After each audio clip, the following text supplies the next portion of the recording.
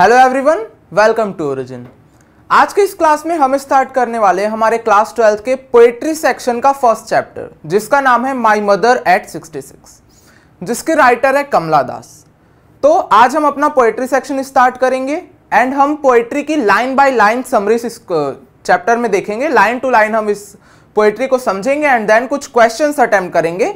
And easily ये हमारा chapter जो है, जो हमारे पोएम्स जो है, वो भी जैसे हमारे, हमने प्रोस कंप्लीट किया उसी तरीके से पोएम्स ही हमारे कंप्लीट हो जाएँगे। ओके सो अब हम स्टार्ट करते हैं हमारे इस चैप्टर की समरी इस पोएम की समरी जिसका है नाम है my mother at 66 so the poem goes like this driving from my parents home to Cochin last Friday morning I saw my mother beside me doze open mouth her face ashen like that of corpse ये हमारे इस poem का पहला part है।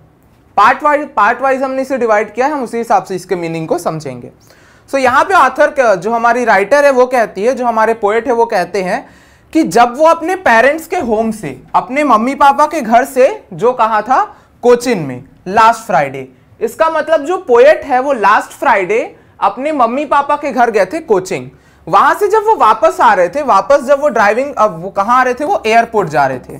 ये मैं आपको पहले से बता दिए रहता हूँ। कि वो कहाँ जा रहे थे? एयरपोर्ट जा रहे थे। तो जब लास्ट ऑथर लास्ट फ्राइडे अपने मम्मी पापा के घर गए थे कोचिन, और वहाँ से जब वो एयरपोर्ट से वापस आ रहे थे तो ऑथर ने अपनी मम्मी की तरफ़ देखा। जब वो गाड़ी चला रही थी तो उनकी मम्मी जो थी बिसाइड बिसाइड मीन उनके बगल में बैठी हुई थी। तो उन्होंने अपनी मम्मी को देखा, वो सोई हुई थी मीन्स कार की बगल वाली सीट में बैठ के वो सोई हुई थी। उनका जो मुँह है, वो खुला हुआ था, सोई थी तो और उनका जो फेस था ashen like that of a corpse corpse means क्या होता है? डेथ बॉडी तो इस तरीके से काफ़ी डल उनका फेस था एंड उनके फेस पे कोई चमक नहीं थी। ये हमें समझ आता है पहले इस पहले इस पार्ट से इस पोयम के।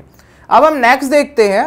नेक्स्ट जो पोएट है वो लिखते हैं and realise with pain that she was as old as she looked but soon put that thought away and looked out at young trees sprinting the merry children spilling out of their homes अब यहाँ पे क्या कहती है जो हमारी poet है वो, कि वो पेन से उन्हें ये रियलाइजेशन हुआ कि अब उनकी मम्मी जो थी, वो उतनी ही ओल्ड है जितनी वो दिखती है। मींस ये लाइन यहाँ पे इंपॉर्टेंट है that she was as old as she looked means जितनी बूढ़ी वो दिख रही है, उतनी बूढ़ी वो है भी। ये ऑथर को रियलाइज़ हुआ काफ़ी पेन के साथ। वो पेन क्यों हुआ? जो हमारे पोएट है उनको, वो हम आगे चल के पता चलेगा। बट जैसे ही उन्हें ये थॉट आया वो अपना थॉट को अवे किया। मतलब अपने थॉट को उन्होंने दूर भगाया एंड वो अपने कार के विंडो के बाहर देखने लगे। कार के विंडो के बाहर वो क्या देखते हैं? यंग ट्रीज स्प्रिंटिंग अब यहाँ पे जो यंग ट्रीज स्प्रिंटिंग है, इनका क्या मतलब है? यंग मीन्स हुआ चाइल्डहुड यंग का मतलब यहाँ पे चाइल्डहुड से। एंड ट्रीज का मीनिंग क्या हुआ? ट्रीज को यहाँ पे दिया गया है टाइम के लिए। एंड स्प्रिंटिंग का मतलब हुआ फास्ट मींस यहाँ पे ये कहना चाह रहे हैं कि जिस तरीके से यंग ट्रीज जब वो, अब गाड़ी में वो बैठे थे तो गाड़ी उनकी फास्टली आगे जा रही है तो जो पेड़ है वो पीछे जा रहे हैं। ये चीज़ हमें इमेजिन करनी है कि जो कमला दास है वो अपना कार चला रहे हैं एंड उनके बगल में उनकी मम्मी बैठी है। अब उनके माइंड में जब ये थॉट आया तो वो विंडो के बाहर देखने लगे। अब उनकी गाड़ी आगे जा रही है एंड जो पेड़ है वो पीछे जा रहे हैं। तो यहाँ पे पेड़ को ऐसा यूज़ किया गया है, तेज़ी से जाते हुए वक्त की तरह। मीन्स यहाँ पे वो ये बताना चाहते हैं कि वक्त जो है वो कितनी तेज़ी से जाता है। एंड देन वो किस पे देखते हैं? Merry children spilling out of their homes अब चिल्ड्रन का यहाँ पे क्यों यूज़ किया गया है? चिल्ड्रन को यूज़ किया गया है ऑथर अपना चाइल्डहुड याद करने के लिए। मींस ऑथर इन बच्चों को देख के अपना चाइल्डहुड याद करते हैं जब वो छोटे थे और उनकी मम्मी जो थी वो यंग थी। ये चीज़ हमें समझ आती है इस वाले पार्ट से। नेक्स्ट अब हम देखते हैं हमारे पोयम का अगले जो लाइन से उन्हें। But after the airport security check standing a few yards away I looked again at her wan pale as a late as a late winter's moon but अब जब ऑथर ने इन बच्चों को देखा, जाते हुए पेड़ को देखा तो ऑथर के मन से वो जो जो पोएट है, उनके दिमाग से ये जो पेन था, ये जो रियलाइजेशन था, या ये जो डर उनके अंदर आया था अपनी मम्मी को देख के, वो जो है, वो दूर हो गया था। बट जैसे ही एयरपोर्ट के सिक्योरिटी चेक, एयरपोर्ट में जाने के बाद चेकिंग होती है सामानों की, वो सब कंप्लीट होने के बाद जब ऑथर जा रहे थे अपने प्लेन की तरफ़ तो जब वापस उन्होंने मुड़ के अपनी मम्मी की तरफ़ देखा तो उन्होंने नोटिस किया कि उनकी मम्मी का जो चेहरा है वो काफ़ी पेल था means pale means off white जिसे कहा जाता है, जिसमें चमक ना हो, काफ़ी dull face and as a late winter's moon अब लेट विंटर्स मून यहाँ पे किस लिए यूज़ किया गया है? जो जब ठंड बहुत ज़्यादा रहती ना, तब चाँद क्लियरली दिखता नहीं। क्यों नहीं दिखता? क्योंकि फॉग रहता है, धुंध रहता है, कोहरा रहता है। इस वजह से चाँद क्लियरली दिखता नहीं डल दिखता है काफ़ी। सिमिलरली यहाँ पे आथर की जो मदर का फेस है, उसे लेट विंटर के मून से कंपेयर किया गया है कि उसी तरीके से जो आथर की मदर का चेहरा है वो रिंकल से एंड डल कलर से काफ़ी वो भर चुका है एंड उतना क्लियरली अब वो नज़र नहीं आ रहा है। तो इस वाले लाइन से हमें ये चीज़ समझ आती है। अब हम चलते हैं हमारी इस पोयम के लास्ट पार्ट में। तो यहाँ पे पोएट क्या लिखते हैं? जो पोएट है वो कहते हैं and felt that old familiar ache ache means यहाँ पे होता है पेन एक मीन्स होता है पेन अब पेन उन्हें क्यों लगा? बचपन का जो उनका डर था। फैमिलियर एक मीन्स जाना पहचाना। फैमिलियर मीन्स यहाँ पे क्या हो गया? जाना पहचाना।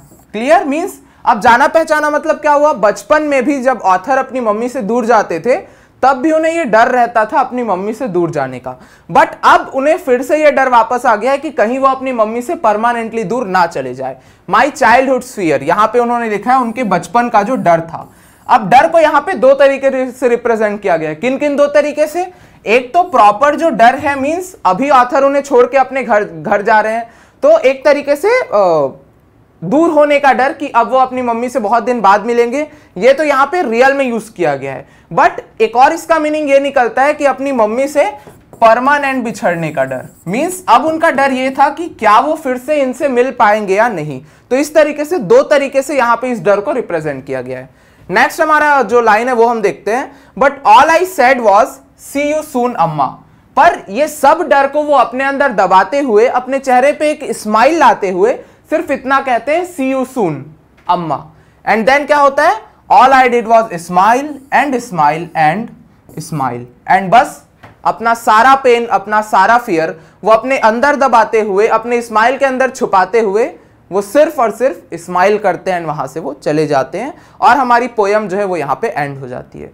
तो बहुत ही ब्यूटीफुल पोयम यहाँ पे लिखी गई है कमला दास के द्वारा। अब हम एक बार फिर से रैपिडली इसको एक बार समझ लेते हैं। पार्ट पार्ट की जगह इस बार हम सीधा एक साथ समझ लेते हैं। तो यहाँ पे होता क्या है, जो हमारे पोएट हैं, वो लास्ट फ्राइडे अपने मम्मी पापा के घर गए थे, कोचिन उनसे मिलने। जब वो वहाँ से वापस एयरपोर्ट की तरफ़ आ रहे थे तो उनकी मम्मी जो है, वो बगल में उनके बैठी थी। जब वो अपने मम्मी के चेहरे को देखते हैं तो उनकी मम्मी सोई हुई थी। उनका चेहरा काफ़ी डल था, उनके चेहरे पर रिंकल्स आ चुके थे। बट अब उन्हें जो फियर है वो उन्हें रियलाइजेशन हुआ कि अब उनकी मम्मी उतनी बूढ़ी हो चुकी है जितनी वो दिखाई देती है। बट इस थॉट को अपने माइंड से हटाते हुए वो अपने खिड़की के बाहर देखते हैं। खिड़की के बाहर वो देखते हैं कि पेड़ जो है वो तेज़ी से पीछे जा रहे हैं, कुछ बच्चे खेल रहे हैं अपने घर से बाहर निकल के। अब यहाँ तेज़ी से पीछे जाते हुए पेड़ रिप्रेजेंट करते हैं वक्त को जो बहुत ही तेज़ी से बीत चुका है।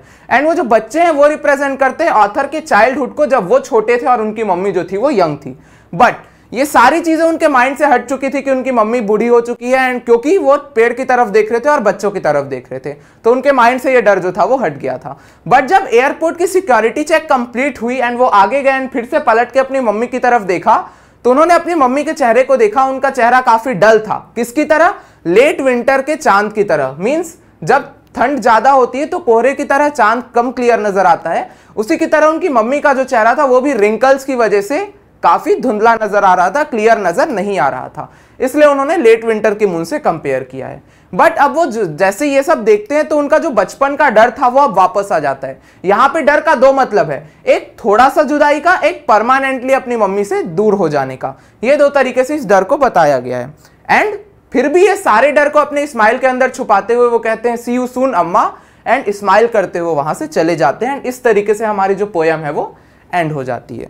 तो आई होप ये पोयम आपको क्लियरली समझ आया होगा एंड इस पोयम से कोई आपको डाउट अब नहीं बचा होगा। कुछ क्वेश्चन हम देख लेते हैं इस पोयम के एंड देन ये हमारा जो पोएट्री का फ़र्स्ट चैप्टर है, वो कंप्लीट हो जाएगा बहुत ही अच्छे तरीके से। और अगर समरी से रिलेटेड कुछ भी आपको डाउट होगा तो आप कमेंट कर सकते हैं। नेक्स्ट हमारा क्वेश्चन है, हम पहले क्वेश्चन की तरफ़ अपने देखते हैं। What is the kind of pain and ache that the poet feels so so, कौन किस टाइप का पेन था? अपनी मम्मी से दूर हो जाने का उनको पेन था एंड एक किस चीज़ का था? एक तरीके से उनके अंदर डर आ गया था। कौन सा डर? उनका चाइल्डहुड फियर परमानेंटली दूर हो जाने का फियर ये हमारे पहले क्वेश्चन का आंसर क्लियर नेक्स्ट है why are the young trees described as sprinting the young trees are described as sprinting because they represent the time which passes very fastly और वेरी क्विकली तो यहाँ पे जो यंग ट्रीज हैं, वो represent करते हैं टाइम को एंड स्प्रिंटिंग इसलिए बता रहे हैं क्योंकि वो तेज़ी से पीछे जा रहे हैं। यहाँ पे इसके दो रीजन है। एक कमला दास की कार जो है वो फास्टली आगे जा रही है, इसलिए जो पेड़ वो पीछे जा रहे हैं। बट अगर मेटाफोरिकली हम यहाँ पे इसे देखें तो इसका मतलब ये होता है कि जो पेड़ है वो टाइम को रिप्रेजेंट कर रहे हैं एंड टाइम जो है वो काफ़ी तेज़ी से बीत चुका है। इसका आंसर हम यहाँ पे अच्छे से ये लिख सकते हैं। नेक्स्ट क्वेश्चन है, why has the poet brought in the image of the merry children spilling out of their homes in the poem? अब यहाँ पे क्या कहा गया जो मैरी चिल्ड्रन यहाँ पे रिप्रेजेंट करते हैं, ऑथर के चाइल्डहुड को, जो जब वो छोटे थे और उनकी मम्मी जो यंग थी। एंड ये सारी चीज़ें वो वहाँ पे याद करते हैं कि क्या क्या चीज़ें उस वक्त वो करते थे। इसी को हमें यहाँ पे बता देना है। नेक्स्ट हमारा क्वेश्चन है why has the mother been compare to late winter's moon अब ये चीज़ मैंने आपको कई बार इस पोएम की समरी में एक्सप्लेन कर दी तो ये वाला क्वेश्चन आपके लिए क्या है? होमवर्क है। Next question is what do the parting words of the poet and her smile signify तो पोएट का स्माइल क्या सिग्निफाई करता है कि पोएट के अंदर फीलिंग जो थी वो उसे अपनी स्माइल के थ्रू दबा रहे थे। क्योंकि वो एक तरीके से अपने आप को भी और अपनी मम्मी को भी ये सांत्वना दे रहे थे एक तरीके से कि अब हमें मिलना है फिर से। बट रियलिटी उन्हें भी पता थी कि शायद है। ये हमारा इस क्वेश्चन का आंसर होगा। नेक्स्ट क्वेश्चन है having looked at her mother why does Kamala Das look at the young children अपनी मम्मी को देखने के बाद वो यंग चिल्ड्रन की तरफ़ क्यों देखते हैं? तो यंग चिल्ड्रन की तरफ़ वो क्यों देखते हैं? अपने जो माइंड uh, में जो फियर आ रहा है जो थॉट्स आ रहे हैं उन्हें दूर भगाने के लिए। Okay forwarded to our next question what were Kamala Das fear Kamala Das का फियर क्या क्या था? और अब वो वापस क्यों आ गया? तो कमला दास का फियर था अपनी मम्मी से दूर हो जाने का उनसे फिर से नहीं मिल पाने का। एंड अब वो वापस क्यों आ गया? क्योंकि जब वो कोचिन से अपने एयरपोर्ट वापस जा रहे थे तो उन्होंने रास्ते में अपनी मम्मी का चेहरा देखा, जो कि काफ़ी डल हो चुका था, काफ़ी बूढ़ी हो चुकी थी उनकी मम्मी एंड उनके चेहरे पर रिंकल्स इजिली दिखाई दे रहे थे एंड अब उन्हें धीरे धीरे रियलाइज़ हो चुका था कि अब उनकी मम्मी उतनी बूढ़ी हो चुकी है, जितनी वो दिखाई देती है। इसलिए उनका जो डर था, वो वापस आ गया। Okay next question what do the parting words of Kamala Das and her smile signify अब ये क्वेश्चन क्या है?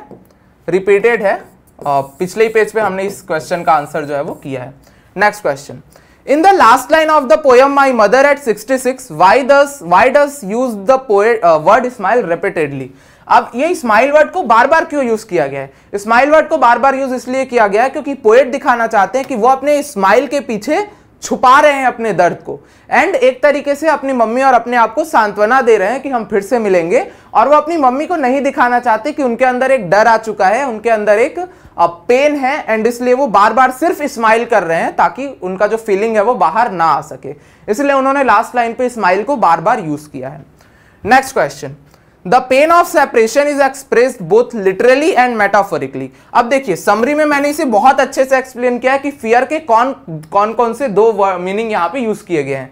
सेम वही इसका आंसर होगा तो इसका भी आंसर आपको होमवर्क एंड होमवर्क आपको पता है कहाँ पे कमेंट आंसर करना है? कमेंट बॉक्स में. सो so, यहाँ पे हमारा जो पोयम का सेक्शन पोयम का फ़र्स्ट चैप्टर था हमारा जो फ़र्स्ट पोयम था माई मदर एट 66 वो अच्छे तरीके से कंप्लीट हो जाता है। एंड अब इसमें आपको एक्स्ट्रा चीज़ें कुछ नहीं करनी है। बस पोयम तो मैंने आपको यहाँ पे रीड करा दिया है एंड समरी भी अच्छे से एक्सप्लेन कर दिया एंड आपको इसका मीनिंग क्या है इस पोयम का वो अच्छे से समझ आ गया होगा। क्वेश्चन की भी प्रैक्टिस हमने कर ली है। अब आपको वेट करना है नेक्स्ट वीडियो का एंड धीरे धीरे इसी तरीके से हम क्या करेंगे, अपने इंग्लिश का सिलेबस कंप्लीट कर लेंगे।